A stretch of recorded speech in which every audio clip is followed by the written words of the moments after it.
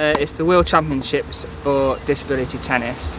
Um, this year it's held in France, um, which is very exciting because it's just like a um, small holiday.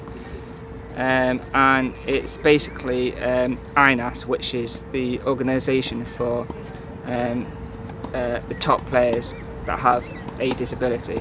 This year it's Fabrice Higgins, who's a very good player. He's a 5.1 um, and he beats 3.2s. So um, yeah, and we get on really, really well um, off the court and on the court, and obviously for doubles, you've got to get on with your partner. It's changed a lot. Um, like this year, I feel more comfortable at the net.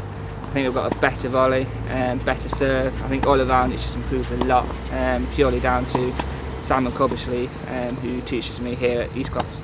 Uh, well, it's a dream come true because not many people get to represent their country um, in any anything that they do, whether it's mainstream tennis, whether they've got a disability or not. Um, because representing your country is, is a big deal, um, no matter no matter what it is that you do.